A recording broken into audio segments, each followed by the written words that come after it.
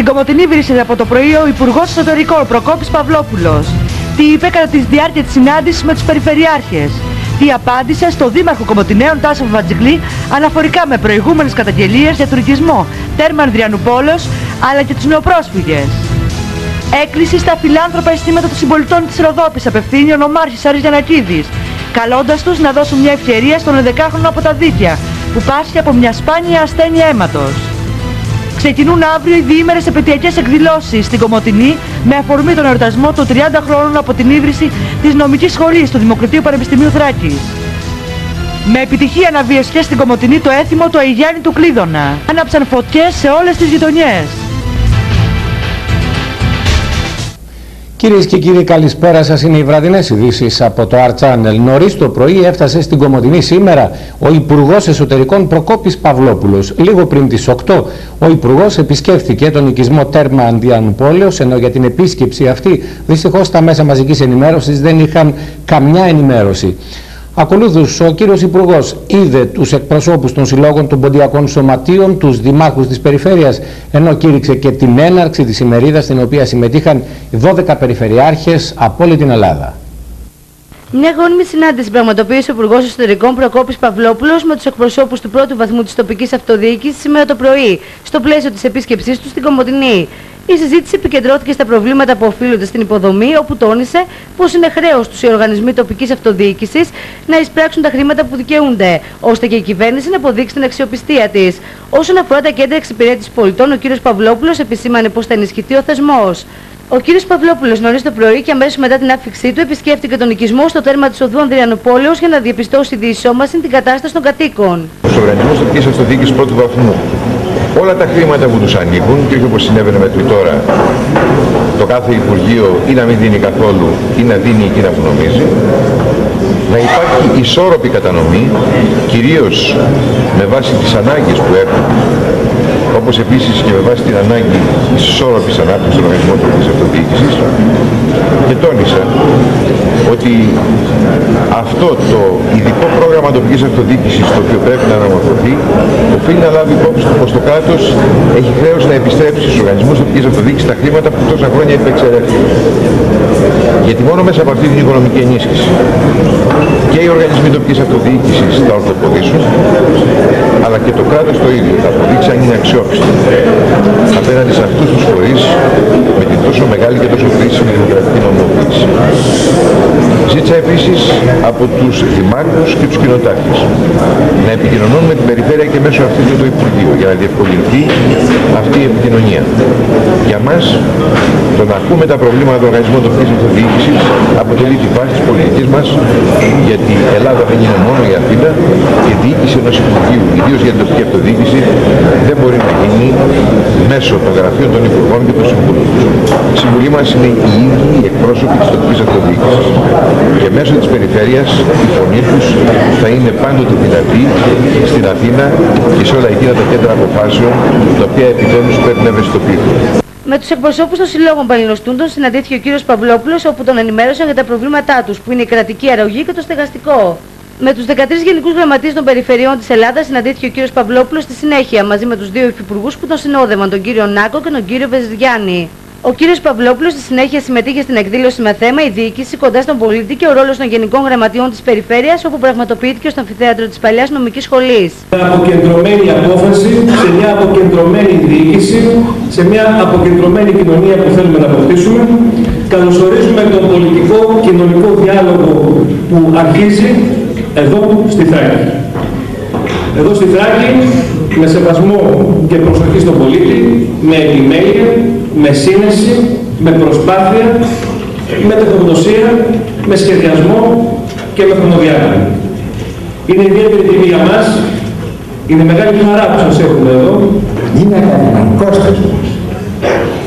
Όμως μετέχει στην κοινωνία της περιφέρειας ε, και μετέχει με ένα δεύτερο γενή ε, αλλά ιδιαίτερα τονισμένο αναπτυξιακό ρόλο ε, συνεργάζεται στενά ε, και με την περιφέρεια. Κύριε Πρίτανη, Σας άκουσα τελευταίο και δεν μας φιλοξενείτε, αλλά και ταυτόχρονα γιατί αισθάνομαι τη θηλία των πολλών χρόνων, αλλά και το συνδευτικό δεσμό να μου επιβάλλει να κλείσω τις προσφωνήσεις με εσάς. Σας ευχαριστώ γιατί κάνουμε αυτή την εκδήλωση εδώ. Μια εκδήλωση η οποία συνδυάζει το πολιτικό με το θεσμικό. Γιατί έτσι νομίζω πρέπει να είναι η πολιτική σε τόσο μεγάλα ζητήματα τα οποία αφορούν τους θεσμούς, τον πολίτη και τη δημοκρατία. Θα ήθελα πρώτα απ' όλα να διευκρινίσω ότι η απόφαση που πήραμε, οι συνάδελφοι μου και εγώ στο Υπουργείο Εσωτερικών Δημόσιας και Αποκέντρωσης, να κάνουμε τα συμβούλια των Γενικών Γραμματέων Περιφέρειας και εκτός Αθηνών και να ξεκινήσουμε από εδώ το Θράκη δεν έχει κανένας είδους επικοινωνιακό περιεχόμενο και επικοινωνιακή σκοπιμότητα. Ήδη από το 15,4% αυξήθηκε η απορροφητικότητα των κοινοτικών πόρων στο 17,1% μετά την ανάληψη των καθηκόντων του κ. Αγγελόπουλου, όπως τόνισε ο Υπουργός Εσωτερικών. Να δώσουμε τη δυνατότητα ώστε η περιοχή να πάει μπροστά. Η περιφέρεια να πάει μπροστά. Σπέβδονται να πω ότι ένα ελπιδοφόρο μήνυμα είναι και το γεγονός ότι στο μικρό χρονικό διάστημα που βρίσκεται εδώ ο Γενικός Γραμματέας Περιφέρειας, ήδη η απορροφητικότητα των κοινοτικών πόρων αυξήθηκε από το 15,4 στο 17,1. Στη συνέντευξη τύπου παρεχώρησε ο Υπουργός στα μέσα μαζικής ενημέρωσης, ο κ. Παυλόπουλος αναφέρθηκε στην επίσκεψη που είχε στο Αλάνκουγιου, λέγοντας ότι θα αποχαρακτηριστεί και ότι σε συνεργασία με το Υπουργείο Γεωργίας θα υπογραφεί σχετική απόφαση από αύριο κιόλας. Δεν θέλω να έρθω στην παράθεση με τον Δήμαρχο, τόνισε ο Υπουργός Εσωτερικών Προκόπης Παυλόπουλος, αναφερόμενος στο ΣΑΝΤΑ και στα όσα έχει δηλώσει σχετικά ο Δήμαρχος Κομωτινής. Από αύριο, ανακοίνωσε ο κ. Παυλόπουλος, θα αποχαρακτηριστεί η περιοχή υψηλής παραγωγικότητας ώστε να γίνει μεταγκατάσταση των Αθήγκανων. Ο κ. Παυλόπουλος τόνισε πως οι δηλώσεις του Δημάρχου μάλλον οφείλονται στην άγνοιά του. Θα υπογράψει την απόφαση σύμφωνα με την οποία είναι δυνατόν πλέον να υπάρξει το ρημοτομικό σχέδιο για να μεταφερθεί ο οικισμός από εκεί που βρίσκεται τώρα, η Τσιγκανούπολη δηλαδή, η οποία πράγματι, όπως και να το δει κανείς, αποτελεί πλήγμα για τον πολιτισμό μας, είναι άθλιες συνθήκες με τις οποίες ζουν οι άνθρωποι εκεί, θα υπάρξει λοιπόν η δυνατότητα μεταστέγασής τους εκεί. Δεν θέλω να έρθω σε αντιπαράθεση με τον κύριο Δήμαρχο. Αλλά αυτό το οποίο λέει είναι παντελώς ανακριβές. Δεν υπήρξε ποτέ στο σημείο αυτό έγκριση. Πρέπει να τονίσω ότι οι προηγούμενες κυβερνήσεις για τέσσερα ολόκληρα χρόνια δεν προέβαιναν σε έγκριση και δεν προέβαιναν σε έγκριση γιατί δεν ήταν δυνατόν νομικά να γίνει αυτό το πράγμα, αφού δεν είχε υπάρξει η αναγκαία μελέτη για να μπορέσει να ενταχθεί το έργο, γιατί όπως ξέρετε, εκείνα τα έργα που εντάσσονται είναι τα συνεχιζόμενα έργα. Παραμονές των εκλογών υπήρξε μια προέγκριση. Διερωτάται κανείς πρώτα-πρώτα, γιατί τέσσερα ολόκληρα χρόνια οι προηγούμενες κυβερνήσεις δεν προέβαιναν σε εγκρίσεις και προέβησαν σε μια προεκλογική προέγκριση. Και δεύτερον, διορωτάται κανείς το εξής. Υπάρχει τόση έλλειψη γνώσης από ανθρώπους που κυβερνούσαν τόσα χρόνια, ώστε να θεωρούν ότι η προέγκριση έχει οποιαδήποτε νομική δεσμευτικότητα; Γιατί αφού ήξεραν το πρόβλημα δεν προέβαιναν στην έγκριση; Ξέρετε γιατί δεν προέβησαν στην έγκριση, γιατί αυτό δεν μπορούσε να γίνει. Ήταν μια προεκλογική φούσκα στην κυριολεξία γνώριζαν ότι δεν πρόκειται να γίνει αυτό το πράγμα, γνώριζαν ότι δεν μπορούσε να υπάρξει η έγκριση και επομένως η ένταξη, η κυβέρνηση, σεβόμενη τους θεσμούς, έκανε αυτό που έπρεπε να κάνει. Δηλαδή, να μην προχωρήσει ένα πράγμα που δεν είναι έτοιμο από πλευράς Δήμου. Είναι γνωστό ότι από την πλευρά του Δήμου, και σε αυτό είμαστε έτοιμοι να τον στηρίξουμε το Δήμο για την περαιτέρω πορεία του, είναι γνωστό ότι ο Δήμος για να μπορέσει να ξεκινήσει η όλη διαδικασία που πρέπει να ξεκινήσει, γιατί πρέπει να τελειώσουν οι υποδομές του οικισμού, είναι γνωστό ότι ο Δήμος πρέπει να πράξει εκείνο που του αναλογεί. Μπαράζ επιθέσεων στην Τουρκία για ακόμη μια φορά. Τέσσερις μέρες πριν από τη Σύνοδο Κορυφής του ΝΑΤΟ, έκρηξη βόμβας σημειώθηκε σε λεωφορεία στην Κωνσταντινούπολη, με αποτέλεσμα να σκοτωθούν τρεις άνθρωποι και να τραυματιστούν τουλάχιστον επτά. Στο μεταξύ, μια ακόμη έκρηξη σημειώθηκε στην Άγκυρα, κοντά στην είσοδο του ξενοδοχείου Χίλτον, όπου πρόκειται να καταλύσει ο πρόεδρος των ΗΠΑ, George Bush. Μπαράζ επιθέσεων στην Τουρκία τέσσερις ημέρες πριν από τη σύνοδο κορυφής του ΝΑΤΟ. Έκρηξη βόμβας σημειώθηκε σε λεωφορείο στην Κωνσταντινούπολη με αποτέλεσμα να σκοτωθούν τρεις άνθρωποι και να τραυματιστούν τουλάχιστον επτά. Η έκρηξη σημειώθηκε τη στιγμή που το λεωφορείο περνούσε μπροστά από κέντρο αιμοδοσίας του Ερυθρού Σταυρού στον ευρωπαϊκό τομέα της πόλης, μεταδίδουν τα διεθνή και τουρκικά μέσα ενημέρωσης. Αυτόπτες μάρτυρες έκαναν λόγο για τέσσερις νεκρούς. Τρεις αστυνομικοί τραυματίστηκαν, ο ένας σοβαρά από την έκρηξη παγιδευμένου δέματος που είχε τοποθετηθεί κοντά στην είσοδο του ξενοδοχείου Χίλτον, όπου επρόκειτο να καταλύσει ο πρόεδρος των ΗΠΑ, George Bush, ο οποίος αναμένεται στην Άγκυρα το Σάββατο. Οι αστυνομικοί τραυματίστηκαν ενώ επιθεωρούσαν ένα ύποπτο δέμα για την ύπαρξη του οποίου είχε ειδοποιήσει την αστυνομία το προσωπικό του ξενοδοχείου. Το δέμα βρέθηκε στις σκάλες, περίπου 150 μέτρα από την είσοδο του ξενοδοχείου. Τούρκοι πυροτεχνουργοί και άνδρες της Αμερικανικής ασφάλειας που βρίσκονται στην τουρκική πρωτεύουσα εν ώψη της επίσκεψης του Αμερικανού Προέδρου κάνουν εξοριχιστικές έρευνες για να βρουν στοιχεία που να τους οδηγήσουν στον εντοπισμό αυτών που τοποθέτησαν το δέμα. Μέχρι στιγμής κανένας δεν έχει αναλάβει την ευθύνη για το παγιδευμένο δέμα. Το τηλεοπτικό δίκτυο NTV μετέδωσε ότι το Μαρξιστικό Λενιστικό Κομμουνιστικό Κόμμα ανέλαβε την ευθύνη για αυτή την έκρηξη επιστρέφουν στην Κομωτινή για να ξαναζήσουν τις πρώτες στιγμές λειτουργίας της νομικής σχολής μαζί με τους συμφοιτητές τους, τους φίλους αλλά και τους πρώτους καθηγητές τους.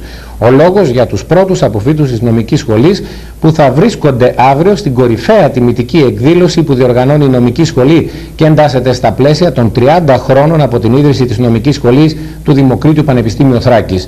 Το πρωί ο πρόεδρος της σχολής κ. Καλαβρός παρεχώρησε συνέντευξη τύπου στα μέσα μαζικής ενημέρωσης. Με αφορμή τον εορτασμό των 30 χρόνων από την ίδρυση νομική σχολή στο Δημοκρίτο Πανεπιστήμιο Θράκης διοργανώνει δίμερες επαιτειακές εκδηλώσεις στην Κομωτινή αύριο και το Σάββατο.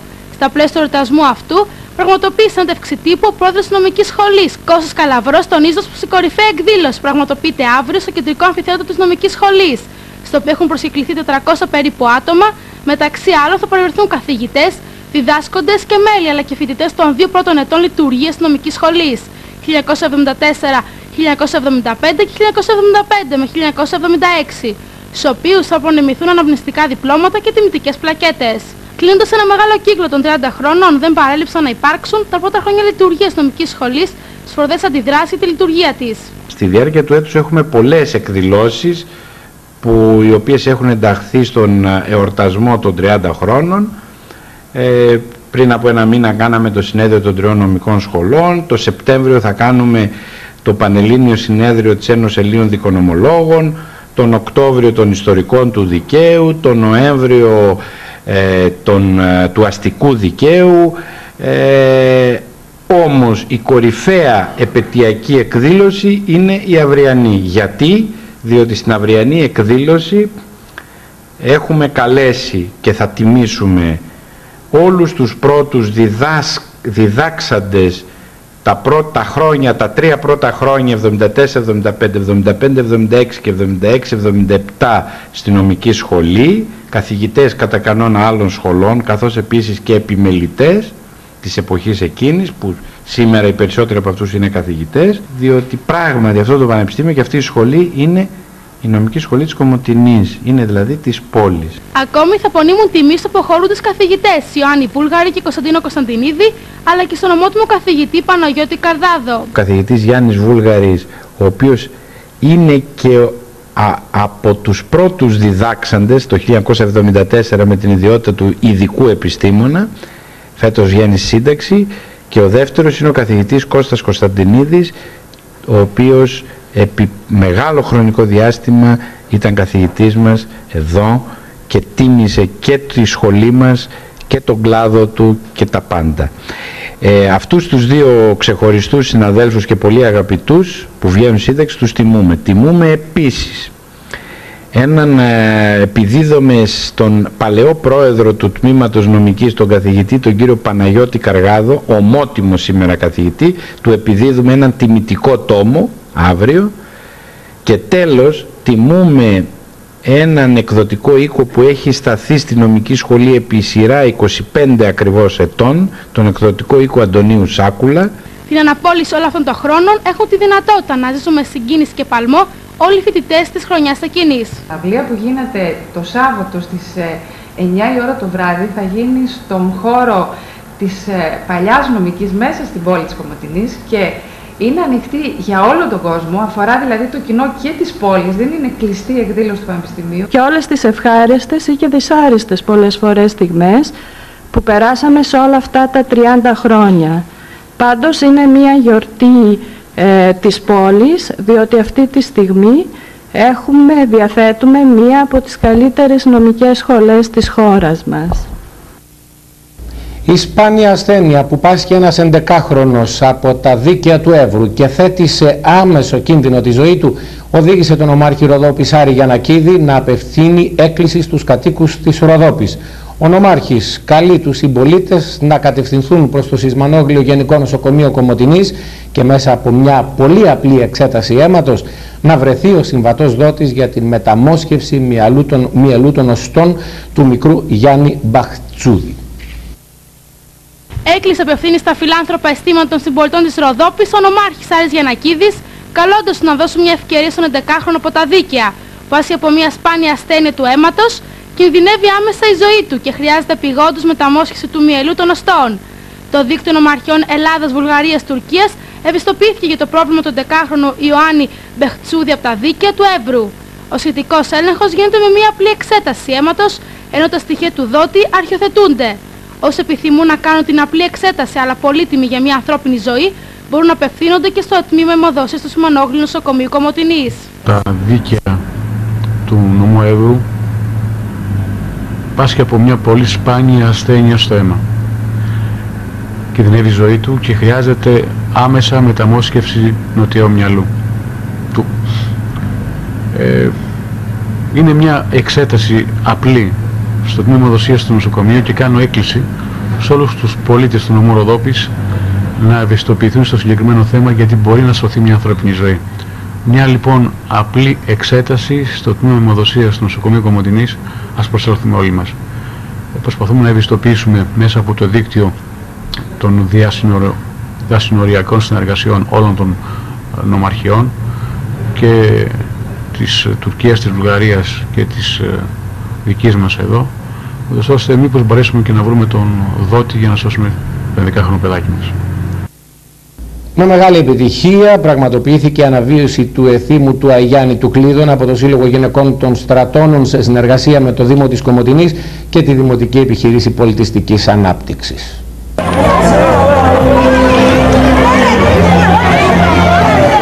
Αναβίωση του εθήμου του Αγιάννη του Κλείδωνα πραγματοποίησαν χθες ο Σύλλογος Γυναικών του Συνοικισμού Στρατώνων συνεργασία με το Δήμο Κομωτινής και τη Δημοτική Επιχείρηση Πολιτιστικής Ανάπτυξης. Το έθιμο κατάγεται από τους αρχαίους Βυζαντινούς χρόνους και αναβιώνεται κάθε χρόνο και πολύ περισσότερο τα τελευταία χρόνια, σύμφωνα με την πρόεδρο του Συλλόγου Γυναικών Στρατώνων, Μάρθα Καπαρτή. Το έθιμο αναφέρεται περισσότερο στις ανήπαντες κοπέλες, οι οποίες τι μέρες αυτές προσπαθούσαν να βρουν το όνομα και την περιγραφή του αγαπημένου τους, βάζοντας μέσα στον κλείδωνα δικά τους προσωπικά αντικείμενα και διάβαζαν το στιχάκι που τους αντιπροσώπευε. Και το έθιμο αυτό, η καταγωγή του είναι από τους αρχαίους βυζαντινούς χρόνους. Ε, αναβιώνει κάθε χρόνο, πολύ περισσότερα τα τελευταία χρόνια, που άρχισε η αναβίωσή του να γίνεται πιο ζεστή από το Σύλλογο Γυναικών Στρατώνας. Το έθιμο αναφέρεται περισσότερο στις ανήπαντρες κοπέλες, οι οποίες την ημέρα αυτή προσπαθούσαν με τον τρόπο αυτό να ανακαλύψουν το όνομα και την περιγραφή του αγαπημένου Ένα δοχείο που περιείχε νερό, το οποίο του φέρνανε ανήπαντρες κοπέλες στην παραμονή του Αιγιάννη, το κλειδώνανε και την άλλη μέρα το πρωί, μέσα από τον κλείδωνα που είχαν τοποθετήσει δικά τους προσωπικά αντικείμενα, βγάζανε τα αντικείμενα αυτά και διάβαζε η καθεμιά το στιχάκι το οποίο της αντιστοιχούσε. Ο Δήμος Κομωτινής και η ΔΕΠΑΚ θα είναι πάντοτε δίπλα τους, αρρωγοί και συμπαραστάτες, ούτως ώστε να μην αφήσουμε τα ήθη μας και τα έθιμά μας να χαθούν, αλλά το κυριότερο από όλα να μην αφήσουμε να σβηστεί αυτή η μνήμη του τόπου, η ζεστασιά, η συντροφικότητα της, της γειτονιάς, να έρθουν οι άνθρωποι κοντά και να αποδείξουμε ότι ο Δήμος Κομωτινής έχει ένα πολιτιστικό πρόσωπο πολύ ανθρώπινο, που ενδιαφέρεται πάνω απ' όλα και πρώτα απ' όλα ε, για να, να ζωογονήσει την ζωή της ίδιας της πόλης. Πόσα χρόνια να βιώνει το έθιμο εδώ με τη βοήθεια του Δήμου; Το έθιμο με τη βοήθεια του Δήμου αναβιώνει τρία-τέσσερα χρόνια, δεν μπορώ να θυμηθώ ακριβώς. Νομίζω είναι τρίτη χρονιά με τη βοήθεια του Δήμου, αν δεν με πατάει η μνήμη μου. Ε, και θεωρώ ότι θα συνεχίσει για πολλά χρόνια όσο υπάρχει βέβαια η συνδρομή του Δήμου, αλλά και όσο υπάρχουν αυτοί οι άνθρωποι, αυτές οι γυναίκες που καταθέτουν την ψυχή τους, τον εαυτό τους σε όλη αυτή την προσπάθεια.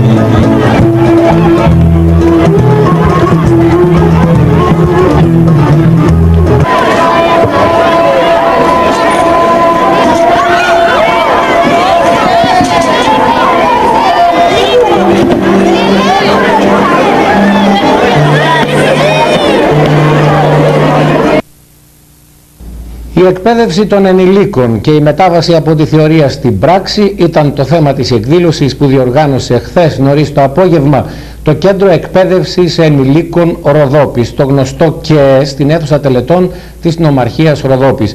Μετά από τις εισηγήσεις των εκπαιδευτών για τα αποτελέσματα όλων αυτών των προγραμμάτων που πραγματοποιήθηκαν το έτος 2003-2004, ακολούθησε και η παράδοση των πιστοποιητικών σε όλους τους εκπαιδευόμενους που ήταν πολλοί. Τα κέντρα εκπαίδευσης ενηλίκων λειτουργήσαν στο μας 40 τμήματα. 600 άτομα εκπαιδεύτηκαν. Εκπαιδεύτηκαν και θέλω να τονίσω ότι τα περισσότερα ήταν οι γυναίκες της μειονότητας. Το Υπουργείο Παιδείας γίνεται για αυτούς που για διαφόρους λόγους είχαν αφήσει έγκαιρα το σχολείο ή δεν ειδικεύτηκαν ή δεν έμαθαν κάποια, κάποιες γνώσεις. Και έτσι μπόρεσε το Υπουργείο Παιδείας μέσα και από το σχολείο δεύτερης ευκαιρίας αλλά και από αυτή τη δράση. Η εκπαίδευση των ενηλίκων και η μετάβαση από τη θεωρία στην πράξη ήταν το θέμα της εκδήλωσης που πραγματοποιήθηκε στην αίθουσα τελετών της Νομαρχίας από το Κέντρο Εκπαίδευσης Ενηλίκων Ροδόπης το οποίο στοχεύει στη σύνδεση των ενηλίκων ατόμων με την εκπαιδευτική διαδικασία, στην ενθάρρυνση και στήριξη της συμμετοχής στα κοινά και στην ενίσχυση της ενεργητικής συμμετοχής των μελών κοινωνικά ευάλωτων ομάδων σε διαδικασίες μάθησης. Συγχρόνως παρουσιάστηκαν τα αποτελέσματα των εργασιών όλων των προγραμμάτων που υλοποιήθηκαν στον Ομοροδόπης. Ε, σήμερα συγκεντρωθήκαμε προκειμένου να κάνουμε μια ανελήξη του, της εκπαιδευτικής περίοδου 2003-2004 του Κέντρου Εκπαίδευσης Ενηλίκων, δίνοντας ταυτόχρονα κάποιες ε, βεβαιώσεις ε, στους εκπαιδευομένους. Ήδη καλέσαμε τους ε, τοπικούς φορείς της ε, κοινωνίας μας, τις ε, κομμωτινίες που ανταποκρίθηκαν από ό,τι βλέπω στο κάλεσμά μας, για να τους ε, δείξουμε να κάνουμε μια αποτίμηση του έργου μας ότι έχουμε κάνει πραγματικά μέχρι σήμερα. Δίνοντας βέβαια στατιστικά στοιχεία, αριθμούς που βέβαια ανταποκρίνουν στους ανθρώπους και όχι και οι ψυχρούς αριθμούς και επίσης να μιλήσουν εκπαιδευτές οι οποίοι ε, έκαναν μαθήματα στο κέντρο εκπαίδευσης ενίκων διαφορετικών ειδικοτήτων όπως ε, συμβουλευτικής, ε, γλώσσας, ε, θεατρικής παιδείας, ελεύθερο χρόνο και συμβουλευτικής φυλακών. Το εξάρι του Λότο μετά από 12 χρόνια πέφτει και πάλι στην πόλη της Κομωτινής. Το κέρδισε ένας τυχερός παίκτης στο πρακτορείο του Χρήστου και Χαγιά. Σύμφωνα με πληροφορίες πάντως πρόκειται για μισθωτό στρατιωτικό ο οποίος μένει στην Κομωτινή. Χαλάλη του. Το εξάρι του Λότο μετά από 12 χρόνια πέφτει και πάλι στην πόλη της Κομωτινής. Το κέρδισε ένας υπερτυχερός παίκτης στο πρακτορείο του Χρήστου και Χαγιά. Σε όλη τη χώρα βρέθηκαν δύο εξάρια που μοιράζουν το ποσό των 300.000 ευρώ, δηλαδή ο τυχερός εισπράττει το μερίδιο των 150.000 ευρώ. Ο υπάλληλος του πρακτορείου και Χαγιά, Νίκος Κουντέλας, αρνήθηκε να αποκαλύψει κάτι για τα στοιχεία του νικητή, απλά τόνισε πως πρόκειται για μισθωτό στρατιωτικό τον οποίο γνωρίζει καλά εφόσον επισκέπτεται συχνά το κατάστημα και παίζει λότο. Σύμφωνα με πληροφορίες, άξαν να πέσουν σε ένα τέτοιο άνθρωπο τα λεφτά. Για το συγκεκριμένο δελτίο, υπερτυχερός κατέβαλε 21 ευρώ. Δεν, ε, δεν γνωρίζουμε τίποτα σχετικά με αυτό. Το μόνο ευχάριστο είναι ότι ήταν ε, πελάτης μας.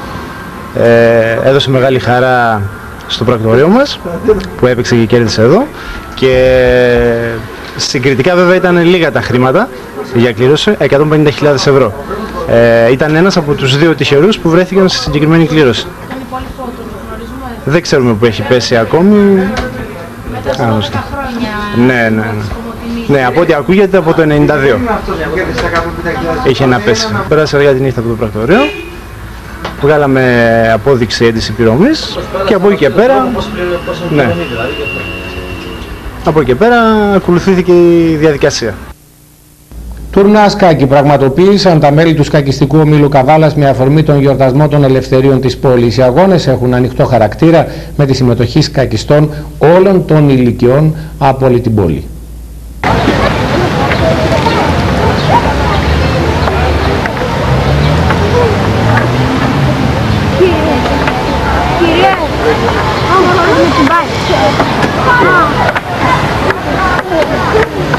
Σκάκι πραγματοποίησαν τα μέλη του σκακιστικού ομίλου Καβάλας με αφορμή τον εορτασμό των ελευθερίων της πόλης. Οι αγώνες έχουν ανοιχτό χαρακτήρα και συμμετέχουν σκακιστές όλων των ηλικιών.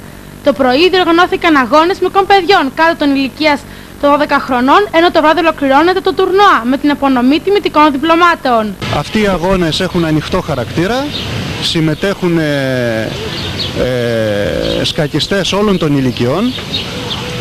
Τώρα το πρωί γίνονται αγώνες μεταξύ μικρών παιδιών κάτω των 12 ετών σε τρεις κατηγορίες, 8, 10 και 12 ετών και εδώ στο Δημοτικό Κήπο Υπέθρη και στο σκακιστικό όμιλο στη Στέγη Φίλων Γραμμάτων και Τεχνών.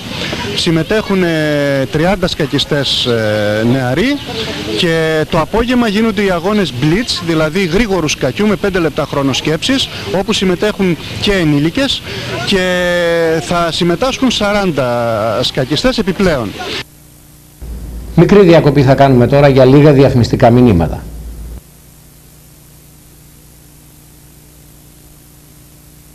Με μεγάλη επιτυχία πραγματοποιήθηκε και στην Αμβροσία η αναβίωση του α, εθήμου του Αγιάννη του Κλείδωνα. Πάμε να δούμε τι έγινε στην Αμβροσία χτες.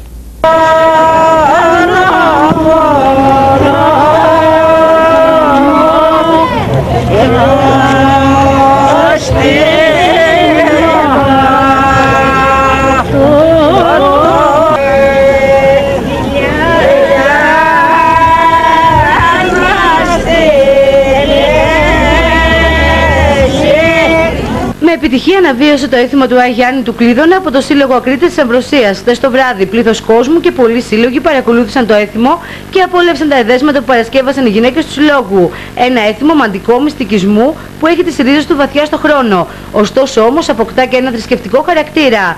Για το έθιμο και τι περιλαμβάνει έκανε λόγο το, ε, για το έθιμο και τι περιλαμβάνει έκανε λόγο το μέλος του Πολιτιστικού Συλλόγου. και όλα μαζί τα κορίτσια μετά τον α, εσπερινό της ημέρας ε, κατευθύνονται σε ένα κεφαλόβιλσο του χωριού, σε μια βρύση όπου εκεί πάει, με, πάει να πάρει η νύφη η οποία ε, η, κυρίως έχει το όνομα στη Θράκη Μαρία ή Καλινίτσα όπως χαρακτηριστικά την έλεγαν η οποία νύφη πάει να πάρει μαζί με τις υπόλοιπες α, κοπέλες και φίλες της το αμήλυτο νερό. Πάνε επομένως στη βρύση ε, με αυτό το πύλινο σκεύος, λένε κάποια κατά την διαδρομή, λένε κάποια τραγούδια, δεν μιλάνε καθόλου μεταξύ τους, γι' αυτό άλλωστε και λέγεται αμήλυτο το νερό.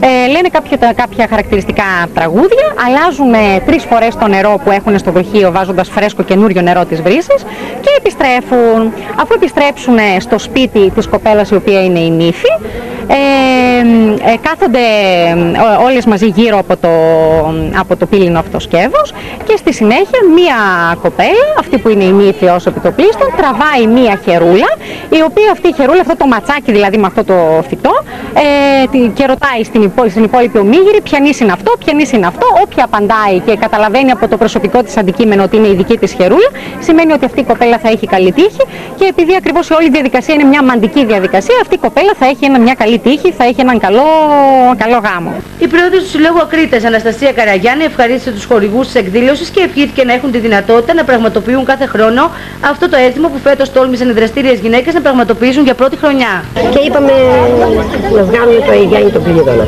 να φτιάξουμε αυτό το έθιμο και θέλουμε να παραμείνει αυτό το έθιμο, να μην το σταματήσουμε εδώ και του χρόνου να είμαστε γύρω, πάλι εδώ να ξαναβρεθούμε και εσείς εδώ να είστε και εμείς εδώ να είμαστε. Οπότε σε ευχηθώ και ευχηθώ και τον κόσμο όλο αυτό, καλή διασκέδαση. Πιανής είναι αυτό, ο πιανής ήταν, θα είχε μεγάλο τυχερό, γιατί θα παντρεύονταν πρώτη-πρώτη και θα είχε και καλό γάμο. Και τώρα τα νεότερα για μια εταιρεία που εδρεύει στο Δήμο των Αριανών. για λογαριασμό τρίτων. Τι σημαίνει αυτό; Ότι ο οποιοδήποτε τρίτος έχει τη δυνατότητα να έρθει και να μας αναθέσει μια υπόθεση. Γιατί αυτή η υπόθεση είναι η κολόνα της ΔΕΗ η οποία είναι μπροστά το μαγαζί μας εδώ και 20 χρόνια και δεν ενοχλείται κανένας αρμόδιος.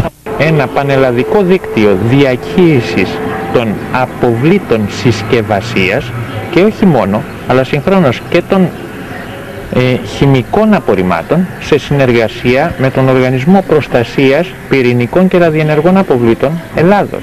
Ένα σύστημα ε, το οποίο δίνει τη δυνατότητα από τη μια στον Δήμο να απορριπαίνεται πλήρως με επιδότηση του ελληνικού δημοσίου από πιλωτικά προγράμματα γιατί κανένα προγράμματα αυτά δεν έχει εφαρμοστεί οπότε κάθε ένας Δήμος που το κάνει είναι πιλωτικό πρόγραμμα και ο πρώτος Δήμος που το κάνει κρατάει και τα εισπράττει λεφτά από τους υπόλοιπους Δήμους που το κάνουν. Μέχρι στιγμής δεν έχουμε ρυθμό να το κάνει. Τι καιρό θα έχουμε αύριο, μας ενημερώνει η Εθνική Μετεωρολογική Υπηρεσία. Κυρίες και κύριοι, αυτές ήταν οι βραδινές ειδήσεις από το Art Channel. Από όλους εμάς, καλή σας νύχτα.